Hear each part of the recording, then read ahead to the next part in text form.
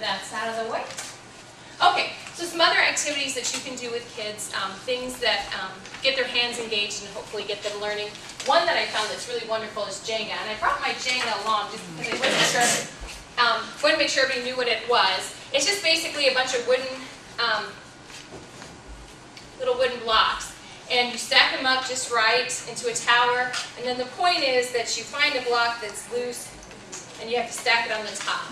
And you can get Jenga at any you know, uh, department store, any toy store, anywhere. But this is actually a therapeutic version. I think I got it through Youth Light. And um, there are a lot of, um, this one has um, category questions and also like just questions. So sometimes when you pick up a brick, it doesn't just, it's not just colored, it has a question on it the kids would have to answer. So this one is my self-esteem version, I believe. But anyway, you can get those through catalogs, the therapeutic versions, or you can just get Jenga in any store and you can make up your own questions. Every time they pull a block, they have to answer a question. I used my Jenga game mainly with ADHD groups because um, those kids are, you know, obviously their problem is impulse control. And so they're going to grab the first one they see, or they're going to see how fast they can knock the tower over. And we're working on things like thinking ahead. What's going to happen if you pull that particular block? How do you think that's going to affect the tower? Now, off the back, it's pretty easy. I mean, you can find a block pretty simply and pull it out and put it on top. But after a while, you start to see the big holes in it, and that's when it gets really tricky with those kids because it's like they want to pull a certain block and you can say, wait a minute, no, let's think ahead what's going to happen and really start talking about those abstract things we talked to them about.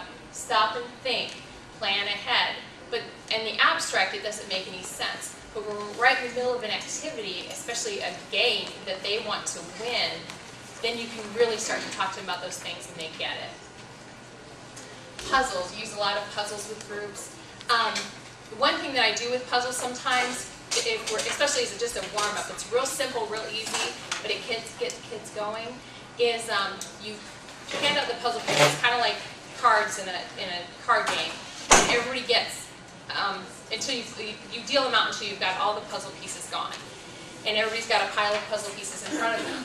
And then the goal is to put the puzzle together. But you can only touch your pieces, and if you want to use somebody else's piece, you have to discuss with them how it's going to work and where it needs to go um, in, order to, in order to use their piece. And so it gets kids talking. A lot of times I find that the hardest part of groups is getting them over that initial shyness, uncomfortable, you know, I don't really know anybody here, so I'm not going to say anything. But if you can get them over that, and one way to do that is through, again, trying to get them involved in an activity that they're trying to get done together. And so this forces them to talk to one another, and once that ice is broken, sometimes it's easier for them to start talking in the group later on. How many piece puzzles do you recommend?